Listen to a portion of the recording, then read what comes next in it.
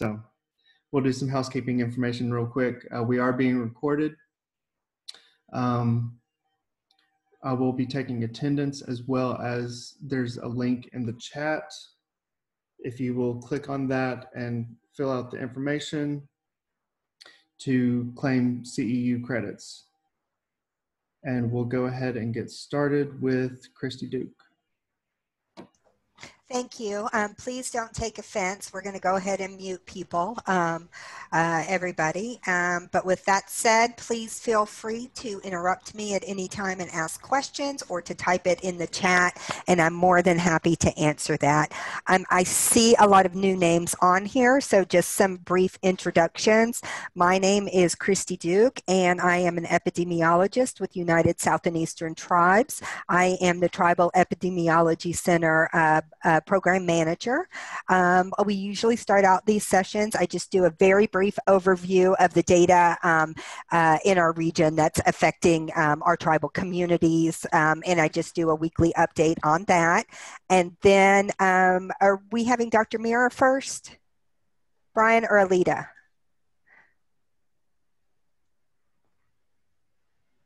Alita is first. Okay.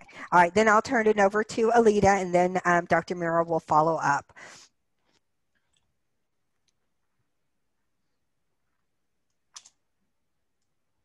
I'm trying to advance my slides. There we go.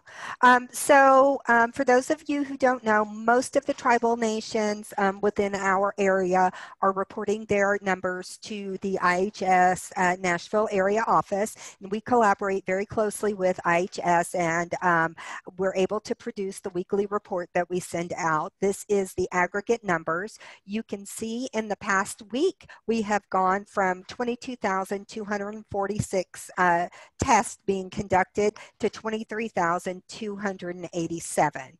The number positives has slowed down somewhat. They were increasing by uh, about 100 a week or so, um, but it does look like it's slowed down a little bit. And we have uh, 1,881 positives as compared to this time last week, which was 1,847. Um, if you divide that by the total number tested, that is about an 8% positivity rate. Um, and as you can see, our number negative increased correspondingly as well. So thanks to all of the sites that are reporting to the IHS Nashville area office, and there are 26 sites that are reporting in. So we do have good representation in our region um, for uh, testing numbers. So thank you if you are one of the sites reporting. That is greatly appreciated both by IHS and USET because we are tracking these numbers. So this graph, which I'll explain, um, I know many of you have seen this, but many of you probably have not. Um, because of all of the limitations around RPMS, which I'm sure we are all aware of um, if we are working in it, um, you know, we're really struggling um, with capturing, uh, COVID data is going in there, but there are some communities that are doing community testing and it may not be captured in the electronic health record.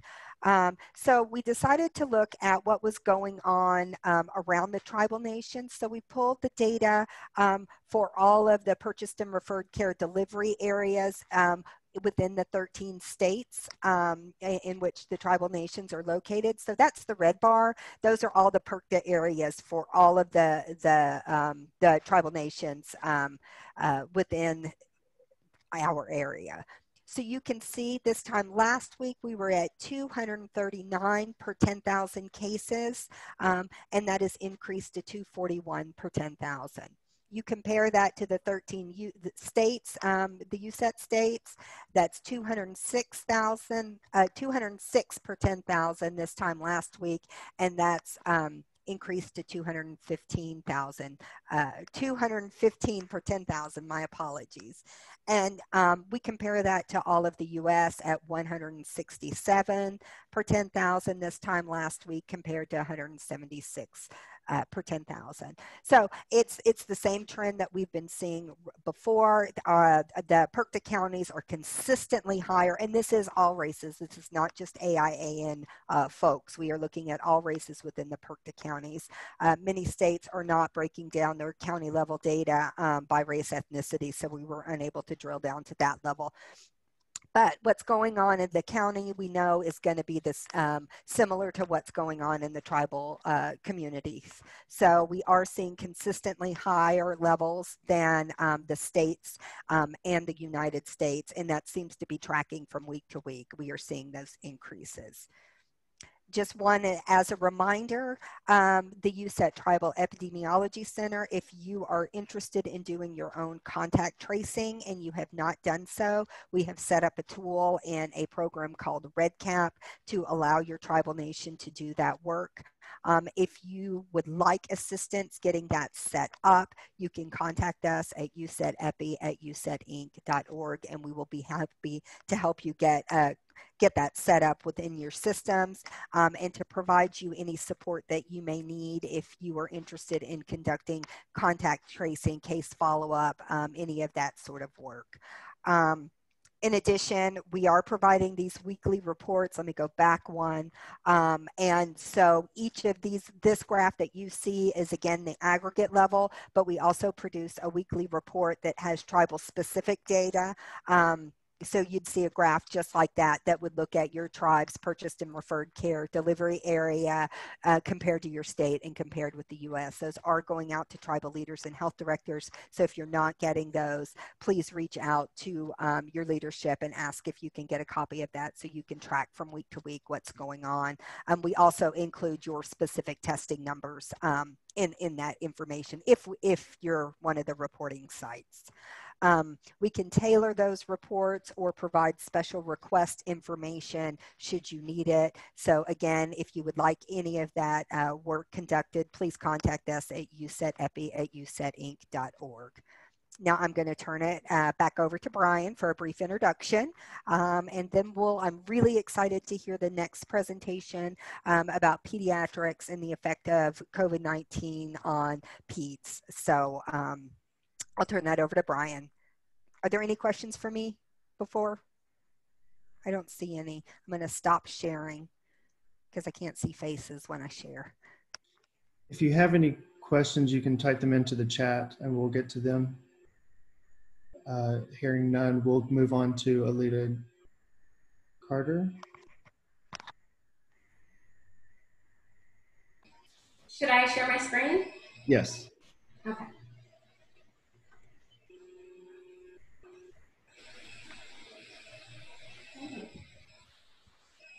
Can you see the PowerPoint? Yes. Okay, awesome.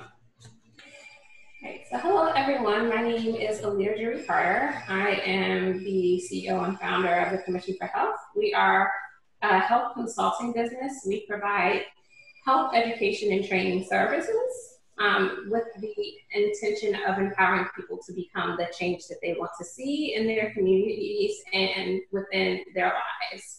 So this presentation is going to be on pediatrics and COVID-19.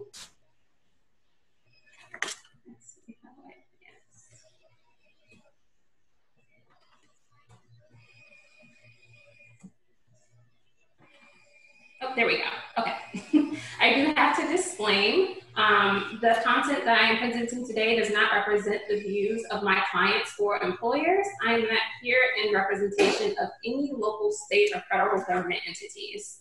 So the objectives um, that I have for today is that at the end of this presentation, the attendees will be able to identify the current reported transmission, mortality, and hospitalization rates for children concerning SARS-CoV-2, also known as COVID-19, understand current information and data that is available concerning children in COVID-19, and to be able to summarize the current recommendations from the NIH, the American Academy of Pediatrics, Centers for Disease, um, and um, I'm sorry, Centers for Disease Control and Prevention, um, as well as, oh, it jumped.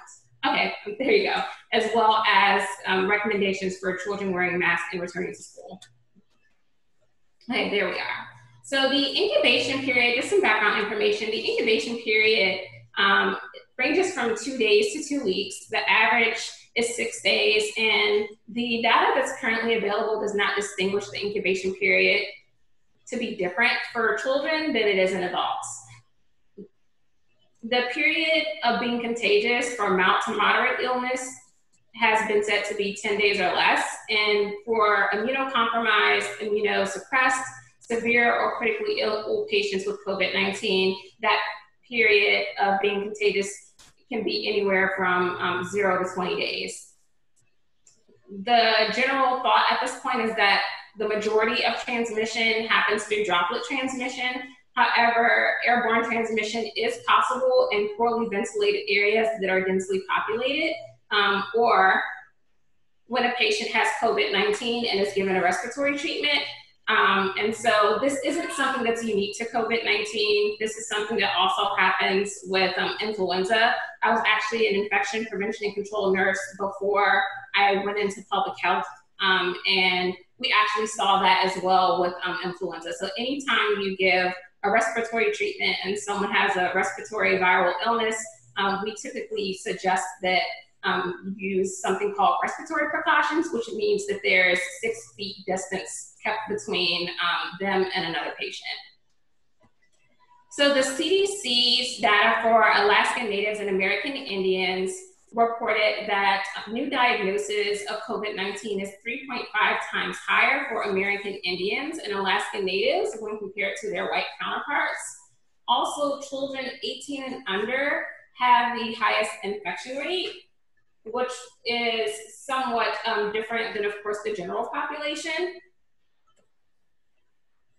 when it comes to the infection rates and risk, uh, there was a report in May that said that Native Americans had the highest per capita rate of infection in the United States. In April, as of April 30th, they actually were not the highest. They were the third highest after New York City and New Jersey. But in May, um, unfortunately, they did become the highest per capita rate of infection. The higher risk of severe illness due to having comorbidities of diabetes, um, hypertension, and other chronic, chronic conditions also exist when compared to the general populations. However, I will mention that minorities in general have been at higher risk for severe illness um, due to having comorbidities, so that that risk of, of higher severity of illness does not just apply to of the American Indian and Alaskan Native population. So according to the Navajo Nation's transmission reports, the spread of COVID-19 was attributed to several factors, but I'll mention a few. One of the factors that they mentioned was that many of the families live in multi-generational homes. Um, there was uh, a lack of running water in some of the communities and there was a, a limited number of grocery stores, gas stations, and food supplies. So when we actually talk about transmission in children, we are seeing a different dynamic than what we see in adults. And so I'm going to talk about a few case studies that were published. And so there was a large study from South Korea where effective contact tracing efforts were being reported, and that case study informed us that children less than 10 years of age transmitted less than adults do. Children between the ages of 10 to 19 were reported to be equally infectious as adults. And the more recent data within the USA reports that children may be responsible for as much as 10% of new cases that occur in children. In France, there was a nine year old boy with COVID 19, and uh, this child also had two other viral illnesses. He happened to come into contact with 80 children that attended a total of three schools. Um, and there wasn't any proven secondary transmission of the COVID 19 virus. There was a separate case study where there was a nine year old boy in Australia and uh, nine staff members, so the nine-year-old boy and nine staff members were all positive for a total of 10 positive patients. Um, and they had contact with a total of 735 students. Pardon me, I don't know why my slides keep jumping. Um, and 128 staff that attended a total of 15 schools. Um, and only two infections were traced back to the original 10 patients that were positive. Um, now, I do again want to point to the fact that some of these other countries have more stringent requirements for wearing a face mask, um, and for some of them instituted stay-at-home orders before we did, um, and some of them as countries as a whole instituted stay-at-home orders as opposed to certain provinces, um, you know, doing that as single um, entities. So again, the transmission continued. For household contact studies from multiple countries, it is shown that children more frequently became infected after being exposed to an infected adult as opposed to transmitting to adults. So I know that was a hot button topic here in the United States as we were contemplating if the return to school was going to be recommended or not. Uh, but again, I do want to stress that the children were at home and they weren't being exposed to the general public as much as other adults were. So some of the data that we have right now is pretty limited. I did what did have an update with breaking news as far as last week or maybe two weeks ago. It's two weeks ago now. Um, there was an outbreak with the University of North Carolina, Chapel Hill, after they had been in class for one week there were 177 students that tested positive for coronavirus, and there were 365 students that were placed on quarantine. And so um, the update as of this week was that they allowed the students to cancel their room and board contracts, and they changed their platform to be strictly online for the fall. So for the review of symptoms, they are um, pretty vague, in my opinion. Fever, fatigue, headache, myalgias, also known as muscle aches, cough, nasal congestion, or rhinorrhea, new loss of taste or smell, sore throat, shortness of breath or difficulty breathing, abdominal pain, diarrhea, nausea or vomiting, poor appetite, or poor feeding.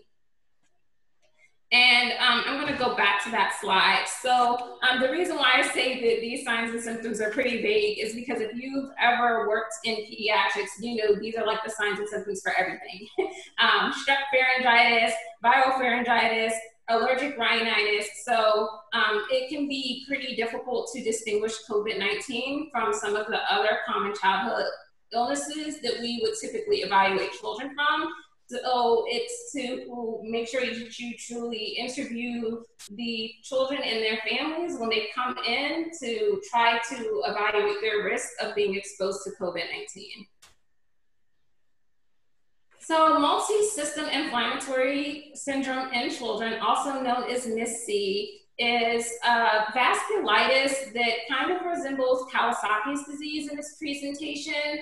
Um, and so I thought that this was a great algorithm. Um, it's been termed as a diagnostic pathway by the American College of Rheumatology, and the link to it is going to be included in my references. But it's a great algorithm in terms of um, when you're when you should kind of start to raise some of those red flags in terms of does this child really need to be evaluated for MIS-C, or is this something else that I, I need to be looking uh, further into. Um, what I will say is that um, the onset of MIS-C uh, does not always happen simultaneously with the onset of symptoms of COVID-19. Some of these cases have been reported to start two to four weeks after the onset of COVID-19 um, signs and symptoms.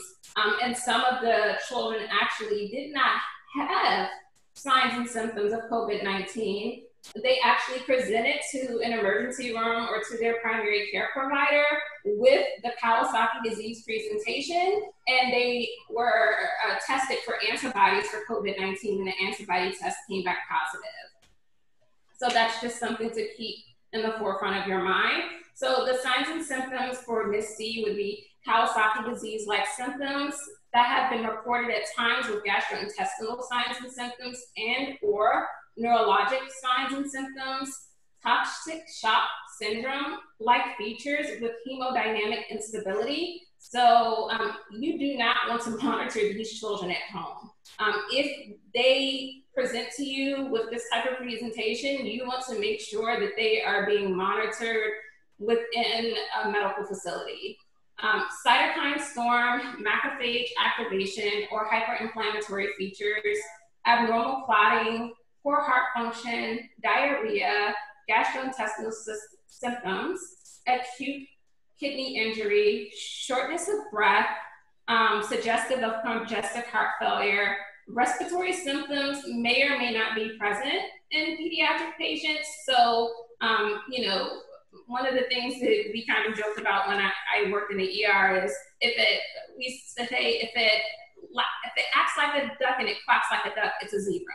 So, um, just to kind of, you know, really uh, keep you asking yourself questions what could this be what, what additional diagnostic tests do we really need to be looking into this was a really neat table that was provided um, by the cdc um, and it really just highlights the values these are three different cohorts of children so there's class one class two class three and it tells you what the median lab value was or were for you know their inflammatory markers, for their clotting um, um, markers. So I just thought that this was really interesting, and you can I will make sure that you all have access to the slides so that you can go back to look at what these values were on average.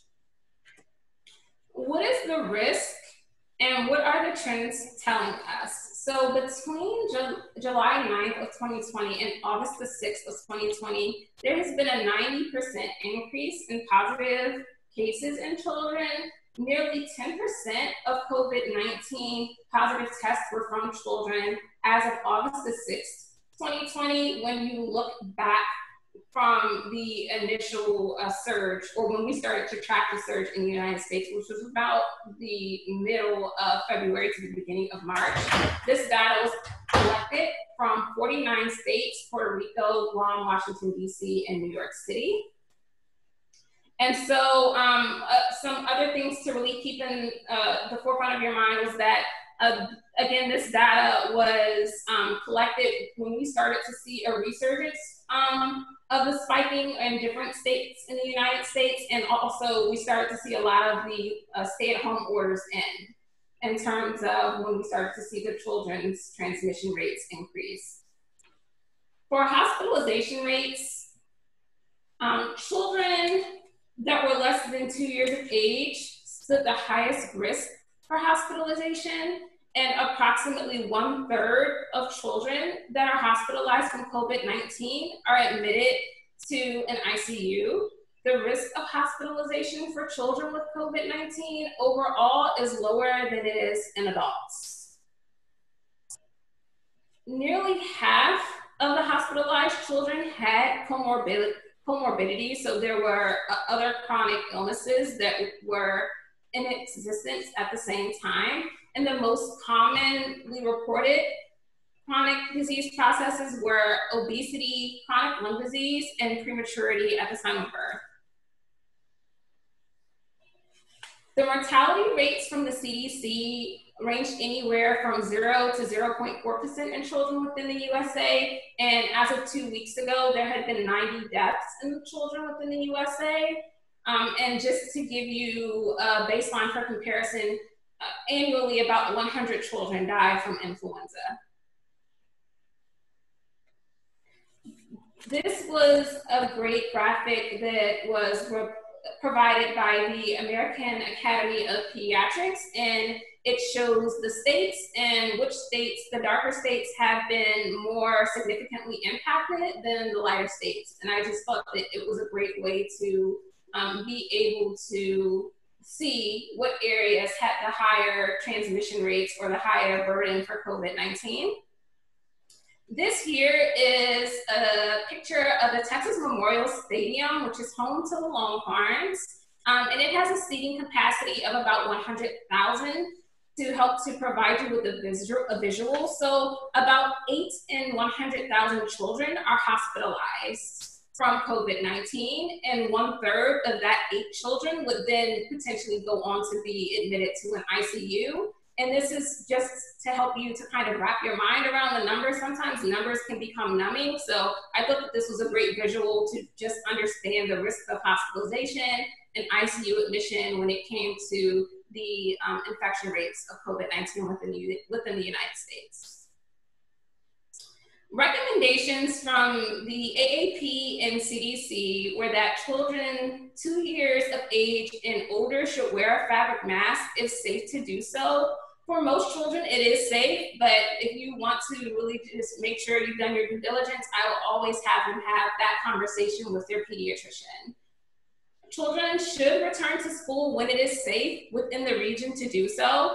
Um, and I'm stressing uh, when it is safe within the region to do so because we are not doing blanket statements um, nationally here within the United States as to when children should or should not return to school. Um, the individual states and sometimes on a county by county um, situation are determining what is best for them and their children, um, you know, as, as individual entities. But we do want to teach them about hand hygiene and we do want to encourage them to practice. So singing a happy birthday song twice, singing the ABC song, um, any type of, um, you know, fun activity or fun song that you can teach them that covers that 20 seconds of scrubbing um, is really important.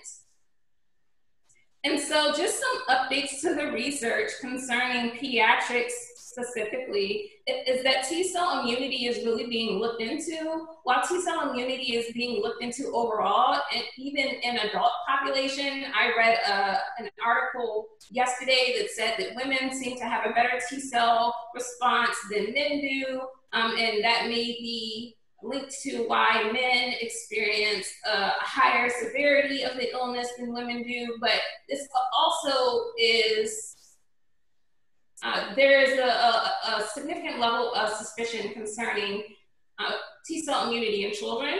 Um, and so there's actually, and there's also um, a great index of um, research that is being done when it concerns the ACE2 receptors in children and how those are related to the severity of illness or the lack thereof Our children getting less sick than adults because they have less ACE2 receptors, which have been reported to be the entry site for the COVID 19?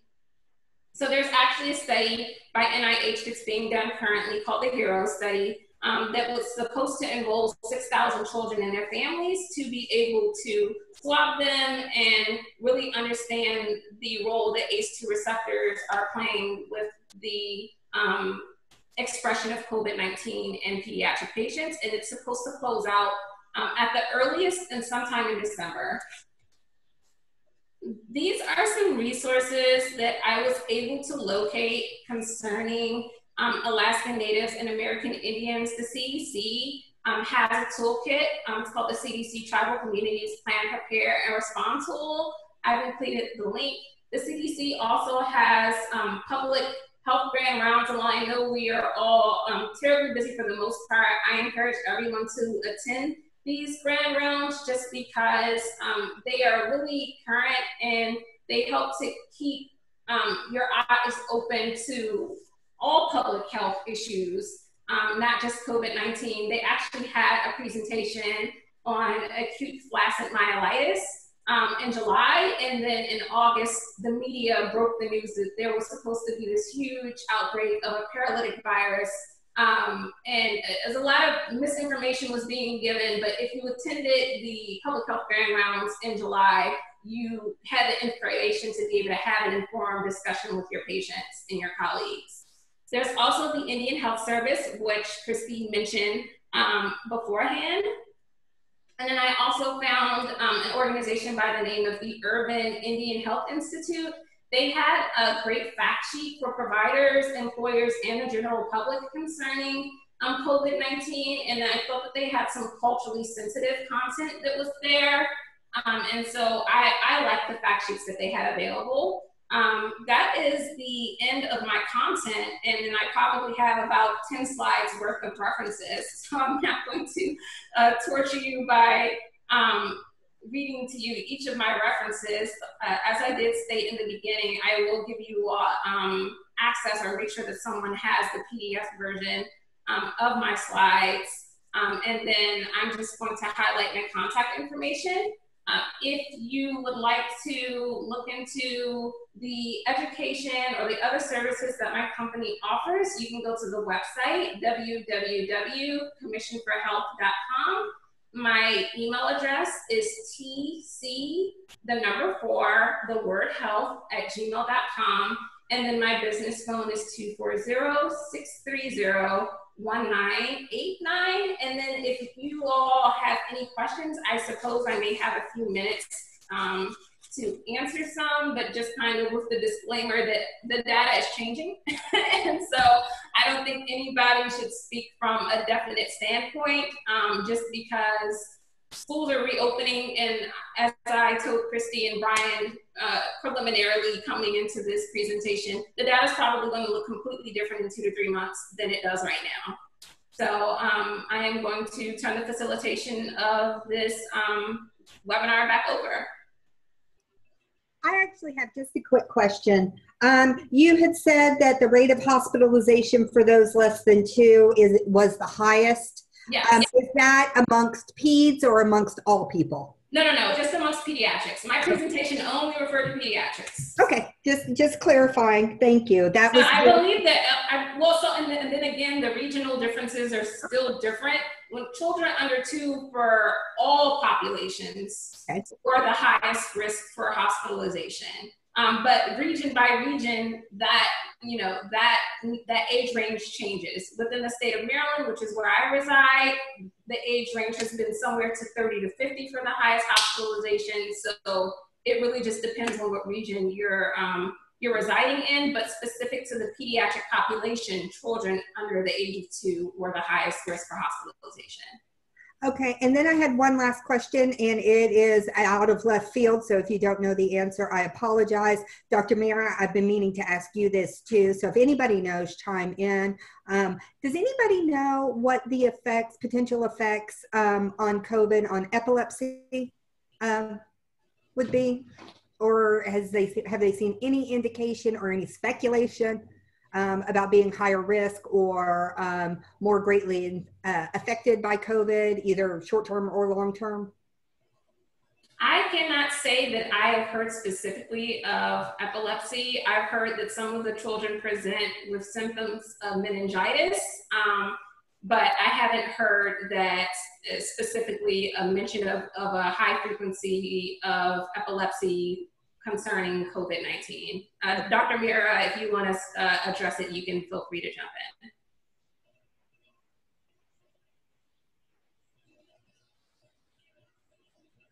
You're on mute. You unmuting him, Brian? I'm sorry. Brian's muting me. Uh, uh, wonderful presentation. Um, no, I have not read a specific topic of epilepsy and COVID, but there are neuro in adults, uh, which I focus the literature more on, more on. There are neurological manifestations. Uh, the majority are strokes, uh, but of course, you know anything can come with a seizure. If you have a you have a, if you have epilepsy and you have a low th seizure threshold, any febrile illness can precipitate it. But a connection of COVID leading to epilepsy, I have not read anything. And not even so much that, but just the reverse about potential complications um, that somebody with epilepsy might face if they Well, I got think- I, I, I mean, this is just uh, not not from any literature. You know, any Sure. uh, febrile or acute stress situation on someone with epilepsy can trigger, you know, can decrease the threshold for a seizure. And in adults, there are like um, the speaker presented, there are cases of uh, meningitis. And actually, there is a an autopsy study of a few patients in which encephalitis was reported by COVID-19 Oh, it's interesting. rare. Uh, I mean, we haven't seen any here. Uh, we've had a couple thousand of COVID patients already.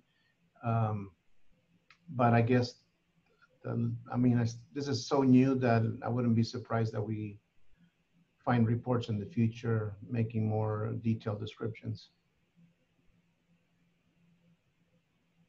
Okay, thank you. And with that said, if, are there any more questions? I, I closed the chat. Are there any more questions in the chat? If not, we can turn it over to Dr. Mira. I have one question on, on the studies that you presented of children in school being infected and then the outcomes. those were in other countries. Maybe I missed it, but mm-hmm. in the in the U.S., is it like a? Because sometimes you hear a report that there's an outbreak, and then the other one that nothing's going on. Mhm. Uh, what what is your overall opinion on school opening and the risk for these, you know, outbreaks? So I actually read an article that was in the New York Times, and again, you know, this data is coming in lightning fast. But I read an article from the New York Times. I want to say it was published yesterday or maybe two days ago, where Germany um, they reopened their schools two months before we did, um, and they have done um, pretty well with their school reopenings. There hasn't been huge outbreaks. There have been individual cases, but you know, I believe Germany was one of those nations where everyone was locked down at the same time. Everyone was forced to wear a mask, and they are really taking the hand washing um, suggestions well. Um, unfortunately, here within the United States, we don't have a national mandate to wear masks. Social distancing, um, even within my state, I, I mean, I can go to um, my county is pretty strict, but if I go to a neighboring county, which I have done in the recent past, um, I went to the harbor and no one was wearing a mask. Um, I have two children who are both um, high risk. They both have asthma, and we didn't we didn't depart our vehicle because no one had on a mask. We were literally the only family that I saw within eyesight that had a mask within arm's reach. Thank you.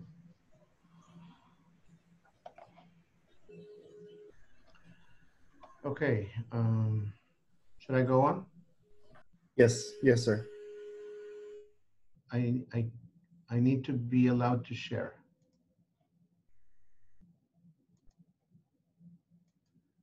Okay, thank you. Let me see. Can you see my presentation there? Okay.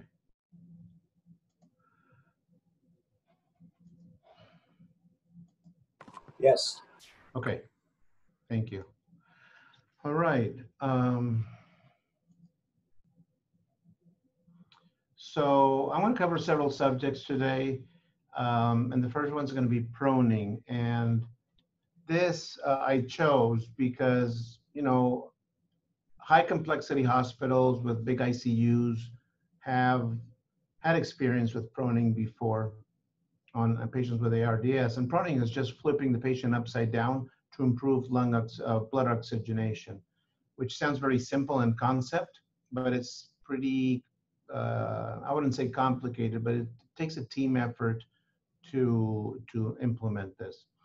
And in smaller rural hospitals with, with smaller ICUs, this is not a very common uh, strategy because usually the small ICUs, when they have a patient that requires several days of uh, mechanical ventilation, those patients are usually transferred to higher levels of care uh, and units in which ARDS uh, is managed um, uh, better because they have more experience and they may have ECMO and other things that small hospitals don't have.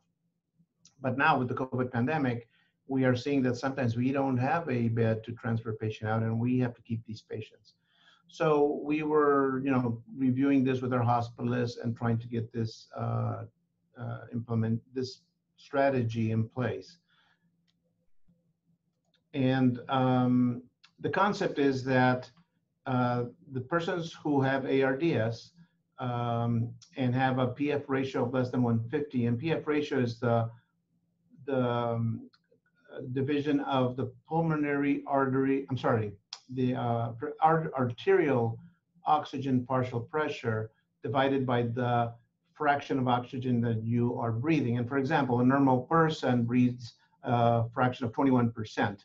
So if I would sample a normal, normal person or a healthy person, I'm sorry, not normal, healthy person's arterial blood, uh, I would expect to get around 95 millimeters of mercury of partial oxygen pressure. You divide that by the inspired oxygen fraction, which is 21%, uh, and you'll get a number which is around the four or 500s. A person with ARDS, that is, to give you an example, on a ventilator, and you are uh, giving them 60% oxygen, uh, they may have a PO2 around 60, and that gives you a PF ratio of 150. So this is the simple formula to see who may be in need of uh, another strategy beyond the one you're using. So it, as I mentioned, it requires a team approach. It requires planning and attention. And there's basically two methods. You have a team uh, that just goes and flips the patient on the bed, or you have special beds that do the proning for you. So what is the physiology of prone position in ARDS? So this is a uh, illustration in which you see a person lying down supine, like most patients are in the hospital beds. And the top parts of the lung, the lighter purple, get good ventilation, but the dorsal parts, the, the alveoli tend to collapse because of the pressure, basically, and the gradient, and the way the, the anatomies of the lungs are. And you can see here that the alveoli on the low on the dorsal part of the lung are collapsed. And also the major blood flow uh, goes to this bottom part of the lung just because of a gravity issue. So if you have an alveoli that has poor ventilation and great perfusion, you, ha you have a great mismatch of that ventilation perfusion ratio, and that's when you get very hypoxemic. So if you flip the patient into a prone position, then what you'll have is that the bottom parts of the lungs now, you can see the, the, the, the parts that are collapsed are much smaller just based on the anatomy of the lung, that wedge-shaped anatomy that it has, that is that gets improved. Also, you don't have the heart compressing on the lungs like you have in this position just by the gravity. Oops, sorry. The lungs are uh, the, the lungs are in the bottom and the top here, not in the bottom here. So what you achieve is that this alveoli that was collapsed now uh, can expand better and um, the perfusion decreases on, on, the, on that type of part of the lung that was collapsed before. So the, the ventilation perfusion ratio improves and you can oxygenate the blood much better. So does this, okay, very nice. I got a good, you know, plausible explanation of why this works, but does it really work? So there are two trials. One's called the PROSEVA trial in 2013. This was before COVID. And they randomized patients to proning or not. They looked at 28 day mortality. And um, the survival rate improved by 50%. Mortality was like 32% on the non prone group and 16% on the group that was prone. And the complications were similar. And then the APRONET trial actually looked at patients with ARDS to see how many of them were being prone. And only 32% in major ICUs used a strategy. And in those patients in which it was used, there was a significant increase in oxygenation and significant increase in the driving pressures uh, to breathe.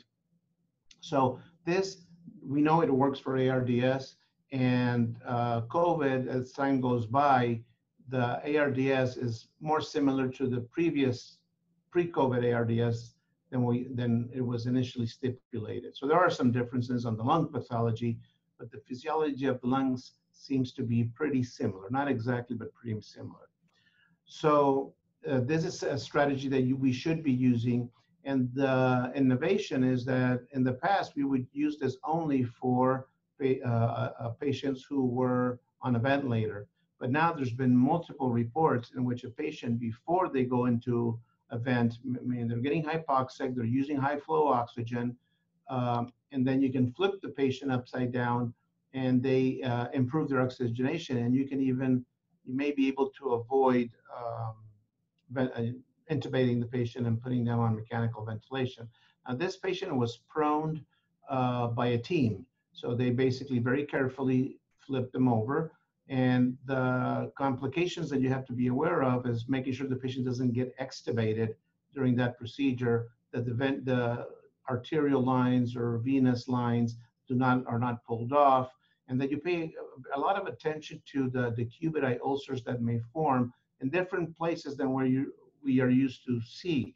Because when a patient is supine, you usually get the ulcers in the heels, you'll get them in the buttocks, you'll get them in the scapular area, here it's the opposite. The pressure's in a different part of your body and also on your face. So you have to be pay attention to all those details. Now there are uh, beds that can automatically prone you. Uh, they are, we don't have one in our hospital. They're extremely expensive. and um, but they seem, from what I've read, to facilitate the the not having to have a proning team.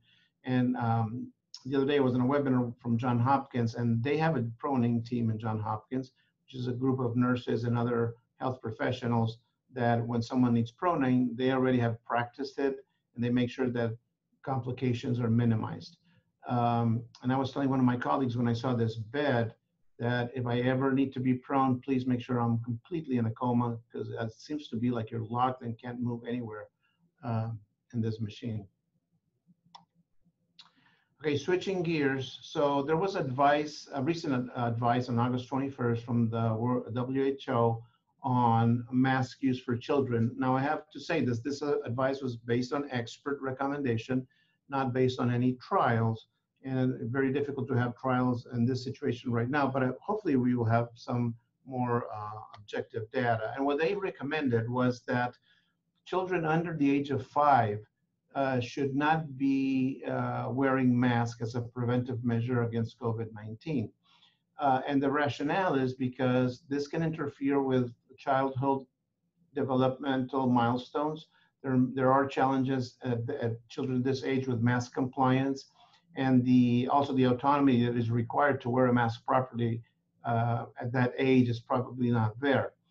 Uh, so if countries are uh, uh, making it obligatory to use masks on two or three years old, they recommend that that should be supervised by adults at all times. For children six to 11 years old, they're not, they're saying you shouldn't make a blanket recommendation that everybody should wear a mask, but you should consider what is the epidemiology of your site. I mean, what is your local transmission rates? Are you in the peak or you're uh, you know very low part of the epidemic or the pandemic?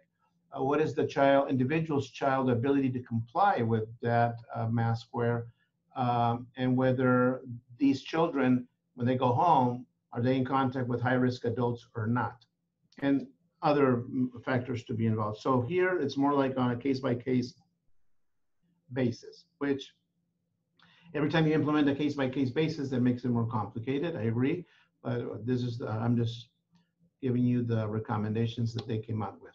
For children 12 years or older, everybody should be wearing a mask uh, like adults, but there's two uh, waivers or caveats. Make mask use should not be required for any child who has developmental disorders, disabilities, or other health conditions that could interfere with wearing a mask.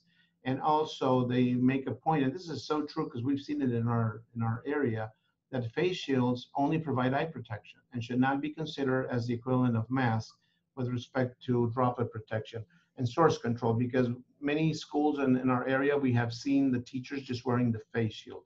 Now there are some transparent masks out there uh, because sometimes it's important for uh, children to be able to uh, read your lips and uh, for learning especially if they have some, you know, uh, uh, auditory problems. But in general, uh, you should tell them that the face shield is an addition. It's not a substitution for the mask. Switching gears, uh, this article was published on Annals of Internal Medicine, and they look at over 80,000 of individuals in the United States admitted uh, within in the hospital for influenza from the year 2000, season 2010-11 through season 2017-18. And what they were looking is for cardiovascular complications, and they found that 11.7% of these individuals had a cardiovascular event, either heart failure or an ischemic event. And of course, if you were older and you smoked and had diabetes and underlying cardiovascular disease or kidney disease, you were at greater risk of developing a cardiovascular event. And you know, I brought, I, I, thought this was very interesting because you know we know that also COVID increases your risk of cardiovascular events, and now we're uh, you know reaching the influenza season where COVID meets influenza, and we have to be very careful to try to mitigate both of these infections because we may be seeing a higher rate of cardiovascular events in the patients who are admitted. Now, this uh, paper was editor uh, had an editorial, and the um, person who wrote it brought up some very interesting points that you know the efficacy of influenza vaccines is about 15 to 45 percent and that should be regarded as secondary prevention for cardiovascular diseases uh, of cardiovascular events And it's more or less the same protection that taking statins or blood pressure medications or smoking cessation gives you, but it is better ingrained in our brains as medical providers as well as patients that we should take our statins and blood pressure meds. It's not as well ingrained that we should get the flu vaccine. So, you know, the, we, the editorial says we accept the importance of all these other measures, but it seems that the importance of flu vaccination is not uh, on top of our priority list. So it is a time to recognize that, especially in this season that we're coming into, we have to maximize our flu vaccination. And every and unless you have a, a medical contraindication to the vaccine, everyone should get a uh, flu vaccine. So now I'm going to switch gears to give you uh, some updates on treatment. So this slide that I got from Clinical Care Options, uh, it's a very nice slide because it uh, graphs these, the severity of the illness based on the time course of the illness. So in the first week, basically you're having viral replication and your body's responding to that viral replication and the patient may have a little bit of fever, a dry cough, laboratory wise, maybe lymphopenia, or otherwise no major disasters. But when you're hitting day eight or nine, excuse me, day eight or nine, then is when your immune response starts building up. And not in everybody, but in a minority of patients, maybe 10, 15%, that immune response is not well controlled and you hit the uh, what's called the host inflammatory response phase and this is where patients develop ARDS, shock, etc. So the treatments that we have available today are remdesivir, which is an antiviral, uh, and has been proven to be effective in reducing the duration of symptoms and decreasing hospitalization. Mortality is still a little bit iffy. Uh, at the in this phase of the disease, the secondary phase between the viral and the full inflammatory response. Dexamethasone, we know decreases mortality in this phase. And of course, oxygen also decreases mortality. Now we have to add here convalescent plasma because this was introduced uh, recently, not the convalescent plasma, but the EUA authorization for using it. Uh, and it the data, the final word still not out there. We're still waiting for randomized controlled trials, but uh, there is some indirect evidence that it may be helpful. So the Infectious Disease Society of America, if you look at their guidelines, they only suggest using remdesivir and steroids in hospitalized patients with severe uh, COVID-19. Um, now, here convalescent plasma is still on the clinical trial, but this slide is old. And, you know, in the COVID era, old is three days old.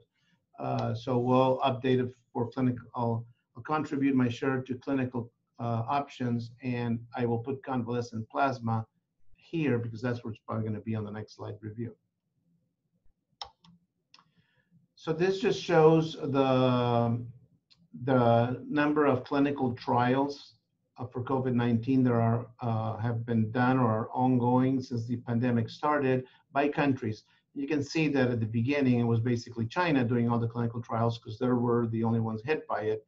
But as the pandemic started spreading out, we're here on March 16, it's four months from now, but you can see a uh, more distribution of the countries that are involved, involved in clinical research to try to find a treatment for this disease. And uh, interestingly, Iran is there, and I will show you one or two studies that came from Iran. Um, okay. Okay, so is there anything new on remdesivir? So remdesivir, there's a new study. The objective was to evaluate five days versus 10 days versus placebo or placebo on patients with standard of care treatment. Um, and to see how these patients were doing on day 11 of their treatment. Um, and the, they, they randomized them on a one-to-one-to-one ratio. Um, and the main outcomes were um, clinical status on day 11. And also, they, they also looked at other days that I'll show you, but that was the main point of the, of the study. So I'll walk you through this graph, which seems a little bit complicated. But on all these remdesivir studies, they've used a seven grade scale. The best one is the light blue. It means you're discharged from the hospital the worst one is the dark, which is you're dead. And then the, in between, you have all these little gradients. So for all purposes, just look at the light blue and the dark scale on each graph.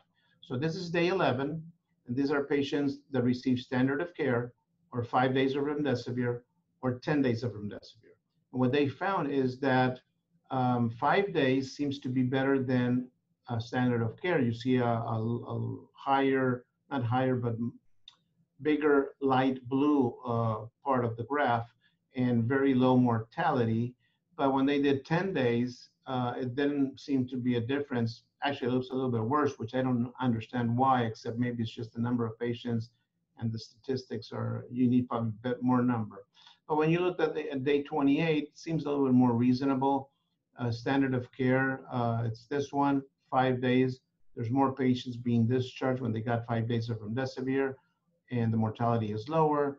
But when you get to day 10, there's really not a big difference from day 5 to 10. So their conclusion was the remdesivir for five days in patients with um, admitted with uh, moderate COVID-19 is better than standard of care, but it's not better to prolong treatment for five more days.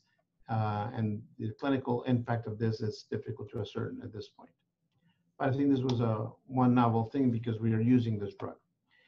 One thing that I found very interesting is what I'm showing you right now. So some researchers in Germany at the Max Planck Institute found that there's a, a, an, a viral enzyme called papain-like protease, protease or PL-PRO. I'll use PL-PRO, it's easier to pronounce. And this enzyme is important in the replication of the coronavirus, of the COVID-19, and also it blunts the immune response. It decreases the interferon levels that are being produced in the cell um, during the infection. So they thought if there could be a drug that could block this enzyme, we would have a double whammy because on one side it will decrease viral replication, and on the other side it will let the immune response be better. So another group of people through some computer generated algorithms started looking at molecules that could block that enzyme. Now, molecules of drugs that we already have. And what they found is that famotidine, which is an H2 blocker, is an antacid, very commonly used, has an, uh, was the best, one of the best drugs they found that would block this enzyme, hypothetically. And uh, what they did is, um, and, and, and also, you know, it's a drug that we, it's licensed, it's safe. We have a lot of experience with it, using it as an antacid. So if this would, would, would, if this drug would work, it would be great. And then there's a retrospective observational study that looked at patients with COVID-19 using this drug, which showed some favorable, favorable results. So what this has triggered is randomized study comparing famotidine to placebo, which is ongoing. And if everybody's interested in the details, you can go to clinicaltrials.gov. And this is the number, the identifier of that study. So I am hopeful that if they found any effectiveness effectiveness on this drug, it would be very interesting. So the, the observational study, which is pretty good study, but it's not randomized uh, controlled study, they looked at patients that were admitted with COVID-19. They looked uh, in the hospital and they looked how many of these are receiving famotidine. And they, um, it was 9.5%. So they compared that group to the ones who were not receiving it what they found is that the ones that were on famotidine had less mortality than the ones who were not on famotidine. Uh, now, the groups, this was not a randomized controlled study, so they looked at the demographics and the non-famotidine group seemed to be a little bit older. So they did a uh, propensity match uh, study to see if the age was the factor that you were surviving because you were younger and not because you actually were on famotidine and uh, the results did not change according to these authors. Uh, also, they noticed the inflammatory markers like ferritin or CRP, D-dimer, et cetera, were lower in the famotidine group. So I think it's pretty interesting data. We, we still have to wait until we get the, the results from that randomized control trial and see if this is a, a drug that will be useful. Um, Okay, this is a slide that just shows the summary of all the drugs, not all of them, but of many of the drugs that have been tested for COVID-19. The majority of the trials have been negative. The only one that still uh, has some future is interferon beta 1b. It's, I believe they did it inhaled in this study. They compared it to, their baseline treatment was lopinavir ritonavir because in those countries, this was the standard of care, and they added the inhaled uh, interferon and ribavirin, and it seemed to have at least a virological impact. And now there's a randomized study looking at clinical impacts. The two uh, cytokine storm blockers, uh, tocilizumab and sarilumab, uh, they show some promise, but the final results are still not out there, and they should only be used in a, a research situation or clinical trial situation. Then the other very interesting one comes from Iran. So uh, in Iran, sofosbuvir and diclofenac, which are two drugs that we used to use for hepatitis C, we still use uh, sofosbuvir. Declofenac, we don't use it anymore because we have some other better combinations. But these are two great hep, hep C drugs, and they found that they have in vitro activity against COVID-19 and at a concentration that is obtainable when you give these medications to a human being. So in Iran, the standard of care is lopinavir ritonavir, which by the way, we don't have any evidence that it works, but that's their standard of care. So they added sofdecladovir, small study, but well done, open label, randomized, controlled, 33 patients on the sofdecladovir group and 33 on the non-soft group. And what they found is some interesting results that uh, there was a clinical recovery within 14 days, a little bit better when you're on the soft the cladosphere, and some other clinical parameters that looked um, important, I mean, favorable. But statistically, not really significant on mortality, but the problem was that the number of patients was very small. So when you look at the mortality, they looked at, I'm sorry, time to clinical recovery, the control group did better, did worse than the soft declarative group, uh, but still the study is very small and they couldn't make big conclusions.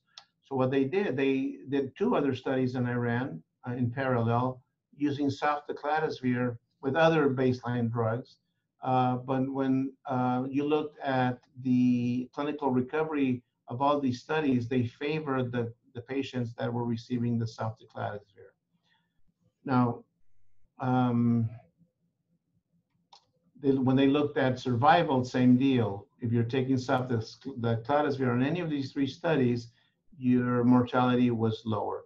Basically, the Iranian researchers were very cautious and responsible, and they said, all this tells us is that there may be something with this combination of drugs. Now we need to do a serious study to really find out if it, it works or not. So they, there's a there's a discovered uh, clinical trial in Iran. They're enrolling 600 patients, double-blind, placebo-controlled, comparing uh, soft with lopinavir ritonavir versus lopinavir ritonavir by itself and monitor severe COVID-19. It's going to end this month, be next month. So hopefully we'll have some results. And if this pans out, another uh, potential treatment tools in our armamentarium. Now I have to say that Iranians were able to do this because all these drugs are very cheap there. Here they're extremely expensive. Uh, but I think that's something that we'll have to deal with if these drugs work. So finally, for those who are uh, disenchanted with medicine and want to do something else related to it, you can go into the 3D printer business of nasopharyngeal swabs. I found this small study very interesting. Um, and basically, these individuals or researchers did, uh, they fabricated um, swabs with a 3D printer uh, and the swab was polyester tip swabs, a little bit different than what's being uh, used that we are using right now. But when they compared it to our traditional swabs, uh, the, the, swabs that they made was a little bit more sensitive for COVID-19, 91% versus 81%.